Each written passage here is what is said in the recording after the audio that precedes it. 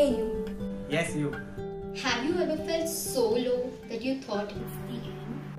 Can't stretch anymore? Maybe. More. This is beyond what I can bear? Is this really beyond what you can bear? Look down at your feet. Come on, look down. Listen to it. It will tell you how you survived through those tough times. Those parts where you trembled once, twice, or many times. those hard roads you chose in life without any support. Those lonely paths that you walked. Never feel defeated. You have survived worse than this. Pick yourself up. You are unique.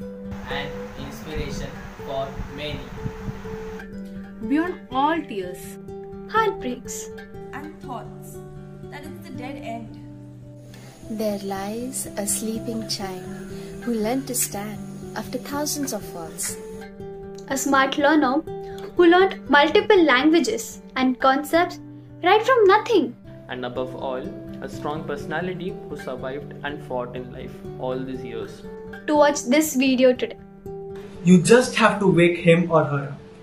So, let's talk it out. Maybe we could help ourselves or someone. Let's talk. Let's talk. Let's talk.